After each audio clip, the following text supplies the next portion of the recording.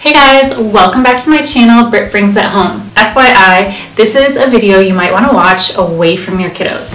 So it is March now, so almost spring and almost Easter. Have you shopped for your kids' Easter baskets yet?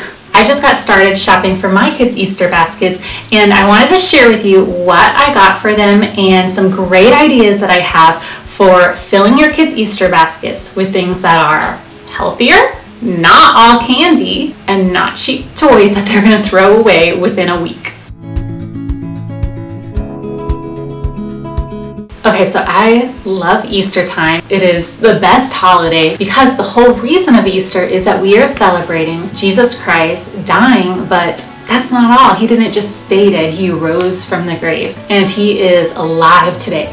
And so we celebrate that when we celebrate Easter. And we go to church and we reflect and we think about what Christ did for us, the price that he paid for us. We celebrate him being risen from the grave. But we also do these fun things that have nothing at all to do with Jesus being risen from the grave, like giving our kids Easter baskets. They are just fun traditions, you know, the Easter bunny coming and leaving a basket at our house each Easter morning who knows why? I don't know the history of it. I don't know why someone came up with the Easter Bunny and why he delivers baskets of candy and toys to every kid's house every Easter morning. But it's something fun. It's something that the boys look forward to each Easter morning, running out of their rooms and looking in their baskets and seeing what the Easter Bunny left them.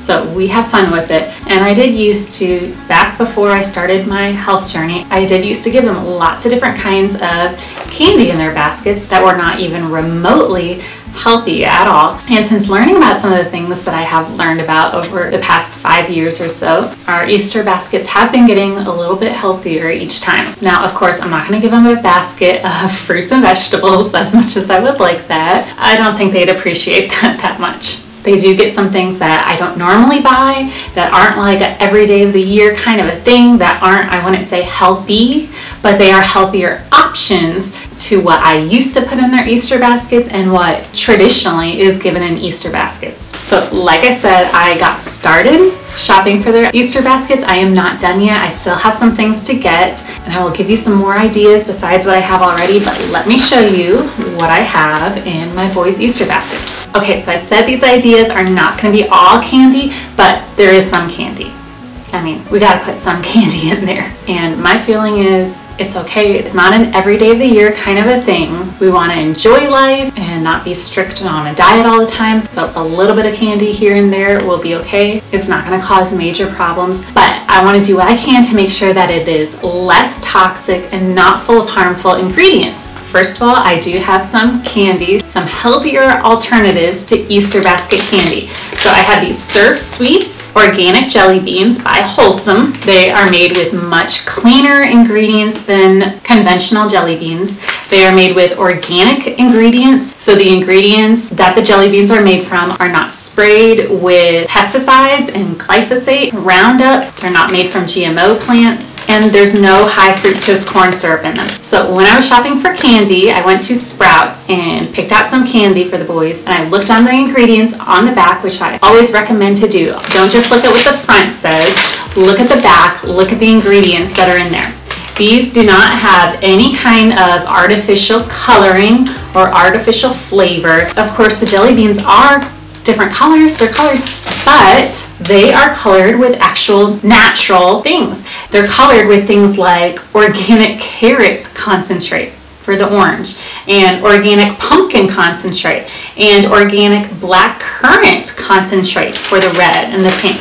So they're colored with actual fruit and vegetable juice. There's no high fructose corn syrup in them. These use organic cane sugar, which it's still sugar, it's still sweet, but it is a much better, cleaner, and healthier sweetener than high fructose corn syrup. So I got each of the boys a bag of those. Another kind of candy I got for them was Justin's peanut butter cups. I love these peanut butter cups because they taste just as good as Reese's in my opinion, and they are a whole lot cleaner and healthier. These are also organic, USDA certified organic. They are made with organic milk chocolate, organic peanut butter, organic cane sugar, organic palm oil, organic peanut flour, sea salt, and organic sunflower lecithin. So Seven ingredients, that's all. Not lots of chemicals, not artificial flavors and artificial color, artificial anything. My husband and I and our boys all really like Justin's peanut butter cups. Okay, next up, I got them some fruit leather. This fruit leather by Stretch Island tastes like those fruit by the foot or fruit roll-ups that we used to have back in the day, back in the 80s. I remember my mom got those and I had those in my lunchbox a lot of times. So these are like that, they taste like that, but again, much cleaner. They only have a few ingredients. This is the raspberry flavor and it has apple puree concentrate, pear puree concentrate, raspberry puree concentrate, and lemon juice concentrate. So again, just a few ingredients and they're all real natural foods. Again, no artificial flavors, no artificial colors, and no harmful chemicals. So that's all I got for their candy. And by the way, I'm not giving them this whole bag. My two boys are going to split this bag. I got them each a bag of jelly beans and each a few fruit leathers. So next, I got them some snacks. I got them each a bag of peanut butter and jelly bites from Sprouts. These are not the most healthy thing, but they are a lot healthier than other snacks you might buy at the grocery store. They are gluten free and they have strawberry filling and the like cookie part on the outside is made from brown rice flour and peanut flour and cane sugar and refined coconut oil, sea salt, rice bran extract, and oat fiber. So they are gluten free. I'm all about that. Even though my boys don't have any autoimmune disease or digestive issues or any signs of being gluten intolerant, I still try to keep their gluten intake pretty low and not feed them a bunch of bread and cake and cookies and things that are filled with gluten so that they don't develop an autoimmune disease or allergies, eczema, or other issues that gluten can cause.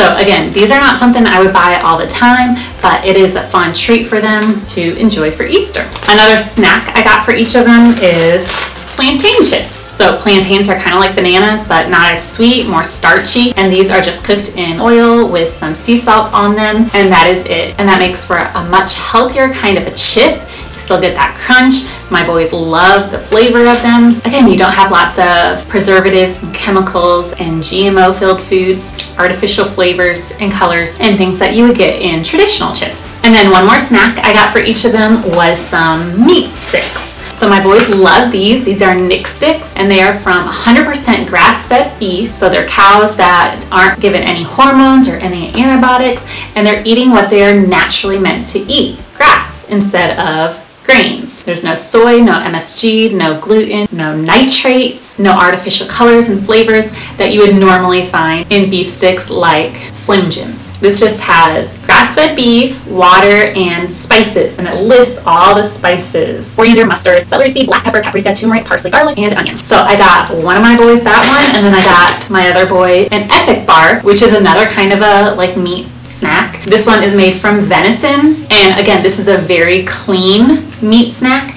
All it has is venison, so deer meat, and salt, lactic acid, water, black pepper, celery powder, onion powder, and garlic powder. That's it. So when you're shopping for candy and snacks for your kids' Easter baskets, try to choose things that have few ingredients and that aren't filled with artificial sweeteners, artificial flavors, artificial colors, anything artificial. Try to choose foods that are organic so that you know they're not made with GMO crops and they're not sprayed with glyphosate or Roundup. Also, try to choose things that aren't filled with tons of sugar. It is Easter, they're gonna be getting candy, there's gonna be sugar in it, but try not to overload them with tons and and tons of sugar. So I got just a few, you know, food products, which some have sugar in them, but they are less sugar than alternatives, and they are made with more natural sugars. So try to choose real sugars as opposed to artificial sweeteners like aspartame, and high fructose corn syrup. I know those things are more expensive. Buying healthier packaged food is almost always more expensive than non-healthy packaged food, but one way you can keep your price the same is by just getting less. Kids don't need 15 different kinds of candy. Just get a few pieces of candy, but make them healthier ones. They don't need five different kinds of snacks in their Easter basket. Just choose two snacks, but make them healthier versions. I know as moms, a lot of times we try to spoil our kids and fill up their Easter baskets to the brim, overflow them, have stuff laying out in front, but kids do not need that. Kids are fine with, you know, filling half of it up with that grass and then putting a few things in there. It's Still something special, still something different, and it will be fun for them. Okay, so that is all for food, all the food items that I got for the boys. So besides food items, I also always try to get some things that they need, like toiletries. So I got them some body wash. This is shampoo and body wash together which I love. Don't have to use two different things for them. And this is by Alaffia. It is the kids shampoo and body wash in lemon lavender. And they've used this before and I really like this. We love the scent of it and I love the ingredients. All clean ingredients like shea butter and coconut oil and lavender oil and lemon extract things that will actually nourish their skin and not dry their skin out and that aren't filled with chemicals and artificial colors and parabens and phthalates which can cause hormone disruption. One of my sons actually had an allergic reaction to some bath soap that we used one time that had red dye in it, and that red dye made his skin break out into hives all over. And so I try to avoid red dye if at all possible. And so I really like the Alaffia Kids Body Wash. I trust their ingredients, very clean. So that is going in their Easter basket. And then I also got them some toothbrushes. Yes, toothbrushes. These ones I thought would be fun for them because they are made of bamboo. So they're a lot more eco-friendly and sustainable. It takes a whole lot less time to grow bamboo than it does trees. And it's biodegradable. So it's not going to just end up in a landfill someday. And they are non-toxic and BPA free. So as weird as it might seem to get soap and toothbrushes in your Easter basket, my boys actually really like it. They like getting new things, cool things that they can use in their everyday life. They already use toothbrushes anyways, so why not get them a new one that is more fun or, you know, different than what they already have. And then the last thing that I got so far is Band-Aids. These are also bamboo band-aids made from a bamboo fabric and they are hypoallergenic. So it's not made with plastic and latex. This is stuff that will not harm the skin cause more problems than there already is when they fall and get a cut or a scratch. So these are by Patch and they have different kinds of band-aids for like bites and stings and cuts and scrapes. So I got the one that is for cuts and scrapes. So that's something I know will be fun. I mean, kids like getting new band-aids. They like putting band-aids on even when they don't really need them. Trust me, I know I was a teacher and part of my job description was putting band-aids on when they got a paper cut or when their finger just hurt. So they enjoy band-aids, so I thought some bamboo ones would be fun for them. Some other fun things you can get your kids in their Easter baskets that are not candy or snacks are books. I always try to get a book or a coloring book, some kind of a book to put in their Easter baskets. So I try to choose a book that has something to do with Easter, like the very first Easter that tells about how Easter started and how Jesus died on the cross and rose again. It tells the actual meaning of Easter. So that's a great one for kids to keep their mind focused on the reason for the season. Another great one for that is God Gave Us Easter. And then some fun Easter or spring type books are always a good idea too. My boys aren't that into coloring as much anymore, but I have in the past definitely gotten them different Easter related coloring books and crayons. These crayons that are in the shape of Easter eggs are really cute. So if your kids like to color a lot and are in need of a new coloring book and crayons,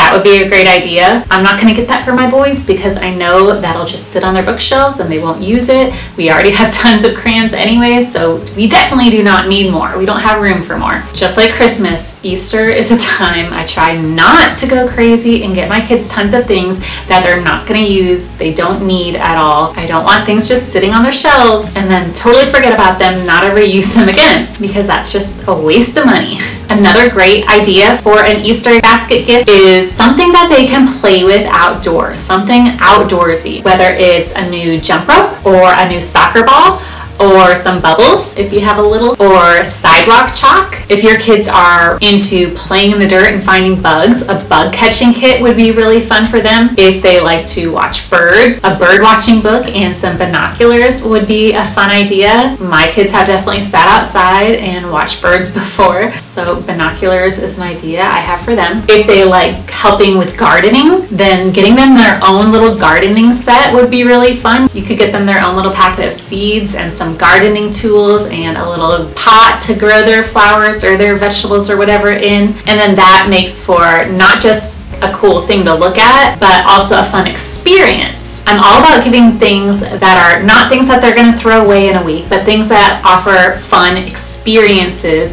that get them outside, getting them to do fun things together in the outdoors. So, going along that line, something else you could put in their basket is a ticket to some kind of an experience. So, you could get them a ticket to the zoo. It could be a real ticket, or make up your own little ticket, write on a piece of paper, or print out a little ticket, or whatever they're interested in. A ticket to a baseball game once baseball starts again, or a ticket to a museum or an aquarium, something like that that they would be interested in. And then another idea is some kind of a toy, whatever their favorite toy is. I always try to get my kids one good toy, something that they really love. So right now both of my boys are really into Legos, so I'm probably to get each of them a Lego set to build. If your kids really love stuffed animals and they don't have a gazillion already and they could use another stuffed animal, get them a stuffed animal. Around Easter time, they are the cutest stuffed animals little bunnies, little bears, little ducks. Both of my boys got bunny stuffed animals from my mom in an Easter basket that she made for them two or three years ago, and they still sleep with those bunnies to this day. So that was something that was special to them. They really love those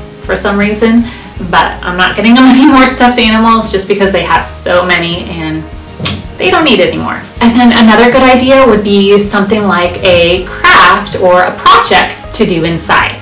So if you have a girl that loves making crafts, get her like a jewelry making set or a slime making set if your kids like slime and you like having slime in the house, go for it. My son Jackson is really into science experiments like volcanoes, making volcanoes and setting them off, and making catapults and marble runs and things like that. So a little science kit would be a cool idea for him. Another good idea would be a game to play as a family. So it could be an outdoor game like bocce ball or an indoor board game like Candyland. So mamas, try not to overload your basket it's a basket, it's not a table full of stuff. Try to keep it contained within the basket or maybe just a tiny bit outside of it. Try not to go crazy getting your kids things that they won't use or things that they're not going to be that interested in, they're not going to last long, or tons of candy that they don't need. The American Heart Association recommends for kids to have no more than 25 grams of sugar a day, which even that is a lot of sugar. So these have 57 grams of sugar in the entire packet. So that's two days worth of sugar right there. I probably would make this last like four days with my kids. So yeah, try not to overload your kids with tons of sugar that they don't need. That's just gonna make them go crazy. And sugar is a contributing cause to many diseases and health related problems. Try to help your kids' teachers out or help your own self out and not overload them with sugar and artificial colors. Show your kids that you love them. Part of showing them that you love them is giving them things that will help to take care of them and not contribute to health problems. So we can do both. We can show them that we love them and we can help them to be healthier. They go hand in hand. So let the Easter Bunny give them some things that they would be interested in, that they would have a lot of fun with, that they would think are cool, and that aren't going to cause them a bunch of harm. So those are some ideas, some things that I have in my Easter basket so far, and some more ideas of things that I'm going to shop for them very soon because Easter is coming up. Let me know in the comments below, what are you planning to get for your kids' Easter baskets, or if you already went shopping, if you are a mama that's on top of it all, you have it all together, kudos to you. Good for you. That's awesome. Let me know what you did get for your kids. All right, guys, give this video a thumbs up if you enjoyed it. Share it with a, another mama friend that might enjoy it also. And be sure to subscribe to my channel to stay up to date on all my latest videos. And I will catch you in the next one. From my home to yours. See you next time.